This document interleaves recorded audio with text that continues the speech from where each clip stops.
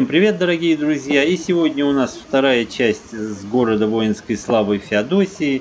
Находимся мы сейчас с вами на Межениновском мосту и будем наблюдать, как проходит под мостом вот этот красивый поезд РА-3, следующий до Владиславовки. Хочу отметить, что очень много людей собираются на мосту и рядом с ним посмотреть на это действо, как проходит э, поезд под мостом. Вышел он из железнодорожного вокзала Феодосии и вот потихонечку двигается вдоль набережной. Э, С одной стороны набережная, с другой э, проспект Айвазовского. Такой исторический центр, можно сказать, здесь находится. И поезд идет под мост. Ну вот посмотрите, машинист не хочет быть звездой, прикрылся шторкой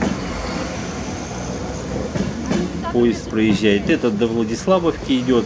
Э, Надеюсь, что в 2021 году, который сейчас наступил, все-таки какой-то из маршрутов э, Москва-Феодосия или Санкт-Петербург-Феодосия, а может быть и тот, и другой, откроют э, именно до Феодосии, так как на данный момент прямого какого-то поезда дальнего следования нет. Э, Ну, все они, конечно, проходят через Владиславовку, э, до которой легко добраться, вот там 11 километров, минут 20 в пути. Собственно, вот электричка это и пошла до Владиславовки. Ну, а мы с вами э, будем сейчас гулять по Феодосии, по набережной, по проспекту Айвазовского, который ранее назывался Екатерининский проспект, и где э, находились дома самых успешных и предприимчивых в свое время людей э, города Феодосии. И од- один из них дом – это э, дача Иосифа Стамбулин. Сейчас мы ее с вами увидим. Вот мы стоим на мосту, разворачиваем камеру. И буквально в 50 метрах этот ве- великолепный особняк. Ну, даже его дачей назвать язык не поворачивается, так как это настоящий дворец. Был построен он Иосифом Вениаминовичем Стамболи, одним из трех сыновей основателя табачного бизнеса э, Феодосии Вениамина Осиповича Стамболи. Э, Табачный магнат, фабрикант оставил великолепное и огромное наследство трем сыновьям, которые благополучно его приумножили. Э, Вениамин э, Осипович Стамболи, по одной из легенд, будучи еще пацаном, начинал, э, собирал бычки, оставшийся табак из них извлекал и наби- наби- набивал им папиросные э, гильзы и продавал сладка. Караимский мальчик довольно-таки успешно занимался этим и община караимов Феодосии, надо сказать, она была немногочисленная, но все они были успешными предпринимателями и помогали своим соотечественникам в развитии бизнеса. Так у Вениамина в Стамбуле появились первые табачные ларьки, а уже в середине 19 века, точнее в 1860 году, у него уже была первая фабрика. Вениамин Стамболи умер в 1897 году и, как я уже сказал, оставил э, трем сыновьям огромное наследство, которое э, они с успехом приумножили. Заниматься бизнесом стал Иосиф Вениаминович Стамболи. Его папиросы очень ценились на Западе. Тамбак, краимский тамбак, табак очень хорошо ценился э, в Европе и успешно продавался туда, награждался сами, самыми высокими престижными наградами и приносил очень и очень хороший доход братьям. А будучи в Одессе, Иосиф Вениаминович Стамбуле э, познакомился со своей будущей женой Рахиль Бабович, э, дочерью одесского фабриканта. И в честь их свадьбы Иосиф решил построить дом для своей возлюбленной. И для этого был нанят архитектор из Петербурга Вегенер. И в 1909 году началось строительство вот этого великолепного дворца в мавританском стиле. Будучи горячим караимским парнем и вздорным характером. И проект дачи несколько раз пересматривался. И каждый раз Иосиф Вениаминович Стамбуле с легкостью расставался с огромной суммой денег. Поэтому стоимость этого вот дворца по тем временам вылилась в огромнейшую сумму Э, приблизительно от 1,1 до 1,9 миллионов рублей по разным источникам. Получился вот такой великолепный дворец. Многие, кто не знает э, вот этой истории, могут принять вот этот дворец за мечеть, так как смотровая площадка, вот она на дальнем плане, очень смахивает на минарет. Но в сущности это не так. 1915 году э, дворец дача в Стамбуле был построен, но по иронии судьбы прожили здесь семья Стамбули совсем недолго, всего лишь три года, и приня... не приняв идеалов революции, в 1918 году семья в полном составе эмигрировала в Стамбул, а в 30-х годах перебралась во Францию. В Париже Иосиф Стамбуле владел бакалейной лавкой и умер в 1958 году. Был похоронен в Париже. Ну, а дача э, Стамбуле не нашла своего продавца и была просто брошена. По приходу большевиков она была просто разграблена. А в 1921 году по призыву писателя Максимилиана Волошина, который назвал этот дом и другие дома на Екатерининской набережной музеем дурного вкуса, э, призвал взорвать этот дом, но, к счастью, большевики его призыв не услышали. И в 1920 году здесь расположилась местная ВЧК. А в 1921 году э, Здесь уже находились пансионат,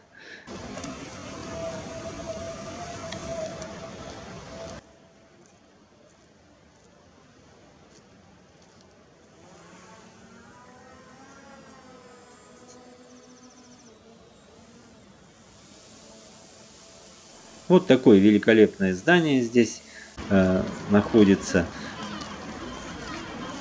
Сейчас это проспект Айвазовского. Ну и продолжим немножко историю. Во время Великой Отечественной войны все здания, находящиеся на этом проспекте, были практически до основания уничтожены. Повезло лишь даче Стамбуле. Она чудом сохранилась во время войны. Но отчасти потому, что в 1944 году здесь был госпиталь а, раненых солдат и офицеров немецкого Э, вермахта. Рядышком с дачей на нижней площадке была, э, организ... было организовано кладбище э, немецких солдат. Вот видите, это вот фонтан.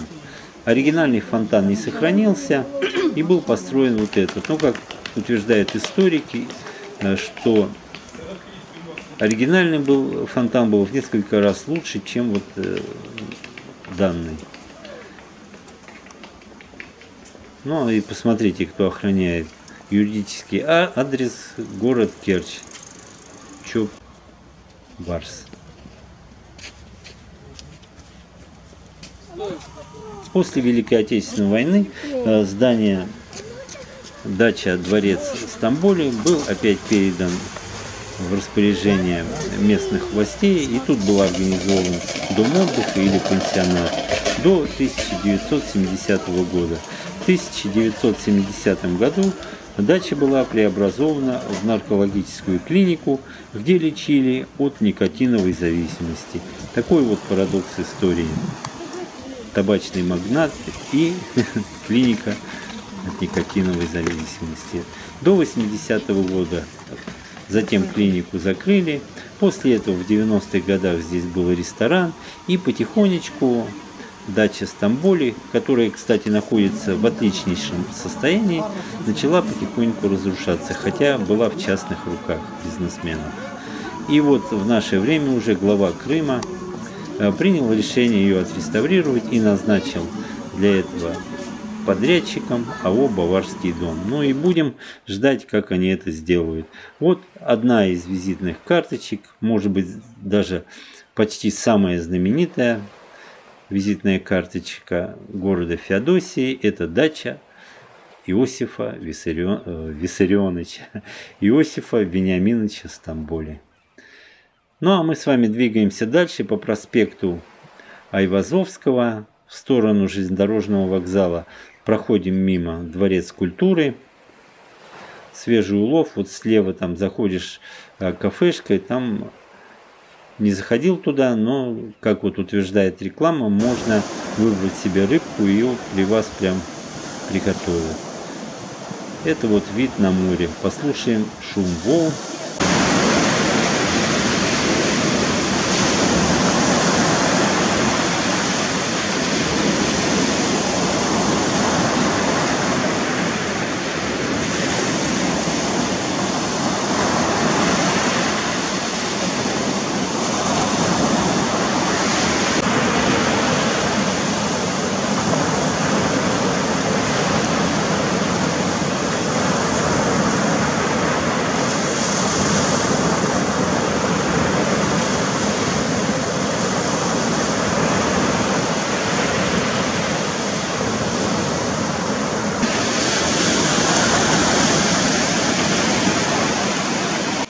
Ну вот такие вот э, здесь виды. А, на момент съемок температура воздуха была плюс 4 градусов, легкий ветерок. И что еще хочу сказать, вот вышла обновленная статистика, что с 31 декабря по 10 января а, в Крыму отдохнуло на 12% больше, чем в предыдущем году. Ну вот памятник э, Котляревскому. Долго на нем задерживаться не буду. Кому интересно, в первой части зимней Феодосии Э, я про него рассказываю и подробно его показываю. Кому будет интересно, я оставлю ссылку в конце ролика во всплывающих окнах. Ну а тут же вот купаются, видите, бесстрашные, отважные парни прыгают в воду. Температура воды где-то 10-11 градусов. Ну, достаточно для этого сезона теплая. Так что кто-то ходит в куртках, а кто-то купается на набережной.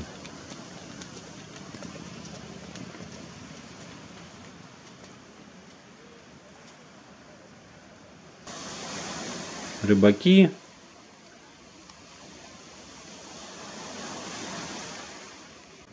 И вот еще отдыхающие здесь тоже отдыхают, прямо непосредственно на самой набережной.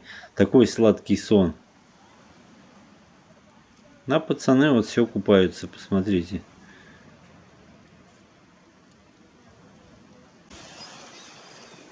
Ближе к железнодорожному вокзалу вот такой птичий базар находится здесь и утки, и лебеди, и чайки, все, много желающих их покормить, поэтому здесь вот такое невероятное скопление живности.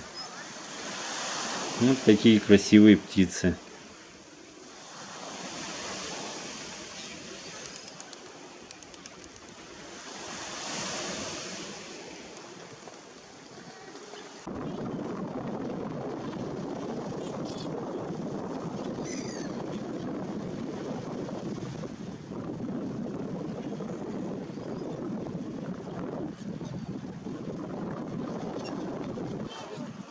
И вот тоже отдыхающие. Видите, очень много отдыхающих со своими собачками.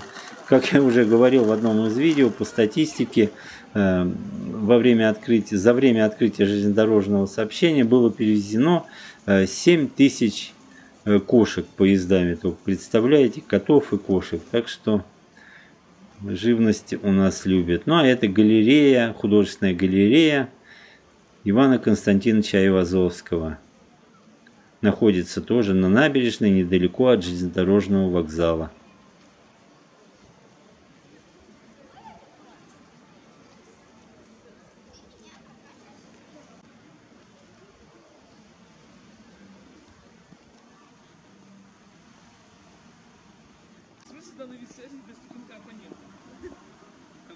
Напротив музея вот такие вот а, находятся зоны отдыха с лавочками – красивыми. Ну и вход э, не в музей, а в галерею в художественную. Часы работы. Пожалуйста, на это вот спутник всей сегодняшних дней. Везде висят такие объявления. Часы работы картинной галереи имени Айвазовского. Последний вторник месяца, санитарный день.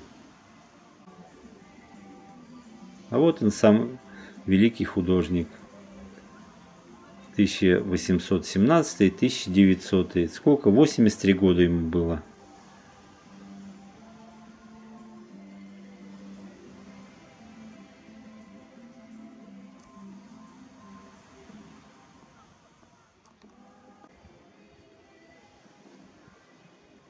Ну, что самое интересное, вот на проспекте Айвазовского находятся такие красивые здания. Сейчас мы с вами пройдем дальше. Хотя вот в войну много было уничтожено, но оказывается вот некоторые из них сохранились. Вот э, гербы Феодосии разных годов.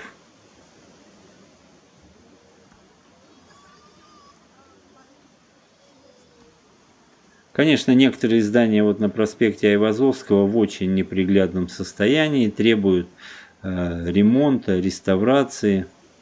Ну, это вот э, стенд знаменитых и великих людей. Санаторно-курортный комплекс.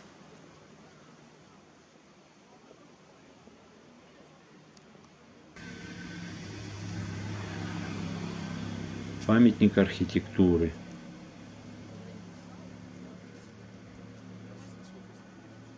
Это вот все дома находятся на проспекте Айвазовского. Вот обратите внимание, вот, вот это здание меня поразило. Я Э, не местные, не знаю, вот кто-то напишет, что это за здание, но посмотрите, в каком состоянии, обшарпанное. Хотя архитектура здания, все красиво. Вот. И это все на почти на набережной, можно сказать, центр Феодосии, где э, сотни тысяч туристов летом. Вот на крыше деревья растут. Того и гляди, когда стоишь, там кусок отвалится и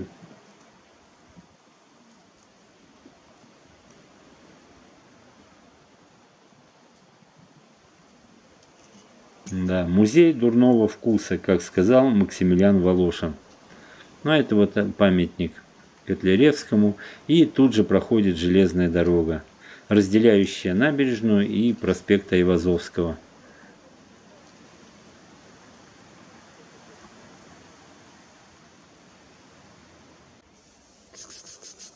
И это местные жители на руинах сгоревших торговых павильонов. В предыдущем видео, э, как мне сказали местные, что перед Новым годом сгорело, э, вот эти сгорели торговые павильоны, меня начали поправлять. И действительно, э, сгорели они с 30 на 31 октября. Так что вот внесем небольшую поправочку.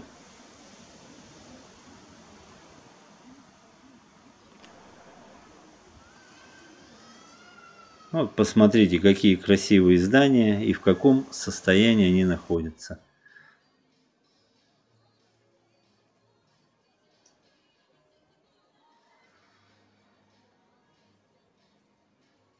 Но это уже мы подошли ближе к железнодорожному вокзалу.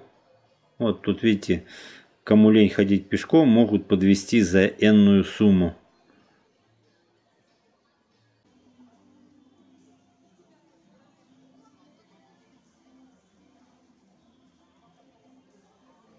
Феодосийский музей древности. Есть куда сходить, не только вот э, на пляже валяться, но можно вот походить по музеям. Конечно, летом это слишком жарко и не до высокого искусства. Ну а вот в это время самое оно. И не холодно, и не жарко. Все работает. Я вот заметил, все больше и больше людей э, стараются вот э, в зимнее время посетить Крым. Вот такая здесь зона отдыха при кафешке. Олени светящиеся. Всякие разные инсталляции, которые вечером завлекают туристов.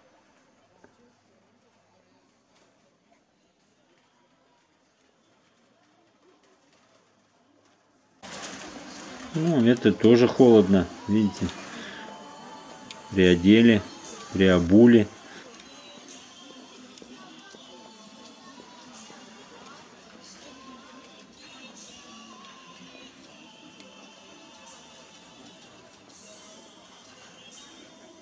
Вот такие цены в местных кафешках, в местных палатках. Чебуреки 70, картофель фри 100, самса 100, хачапури 100. Шашлык со свининой 200. Шаурма классическая 150.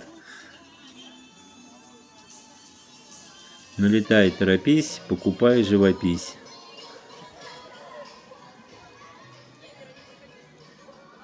Ну и сейчас вот мы практически подошли э, к площади перед железнодорожным вокзалом, где стоит елка.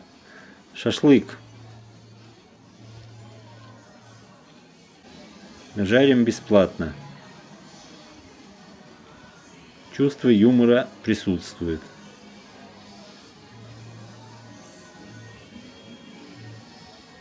Главное, посмотрите, все написано краской, а вот ценники съемные на бумажке. Таксометр побежал.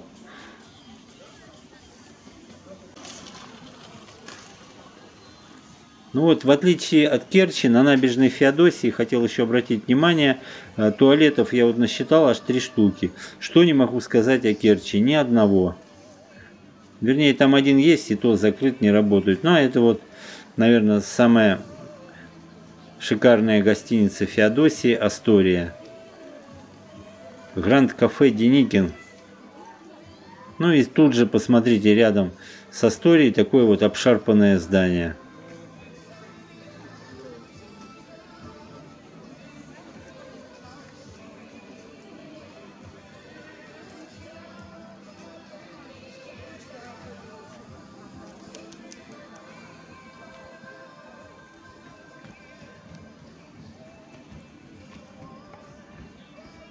Вот действительно в одном кадре и блеск, и нищета одного здания. Ну, много маленьких елочек на балкончиках стоят.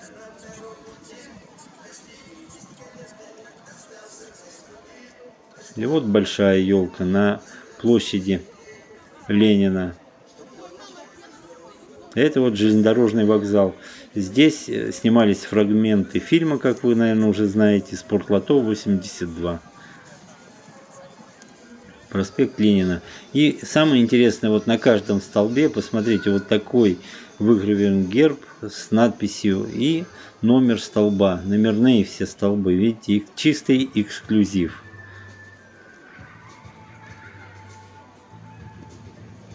Ну и памятник, как водится в каждом приличном городе, вождю.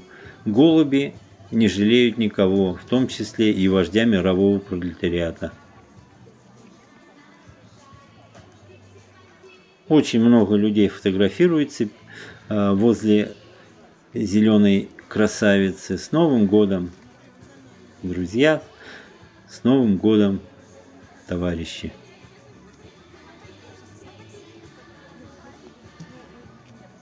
Ну, здесь вот э, Феодосия, я смотрю, игрушек повесили хоть, а то э, тупо завешивают гирляндами и все, включают, и как светящийся конус.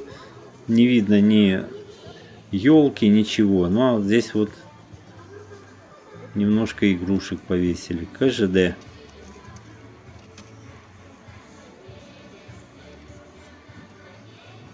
Железнодорожный вокзал. Вот видите, слева и справа кольца по три штуки. Так и хочется сказать, еще по одному добавить и будет Ауди.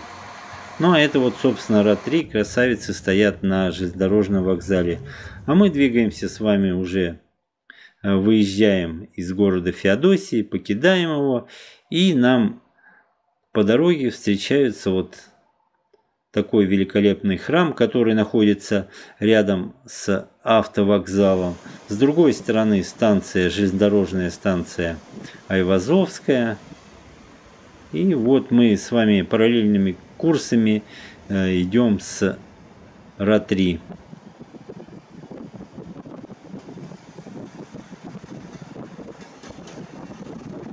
Натуральный звук Э, шум колес послушайте. А я на этом заканчиваю, дорогие друзья.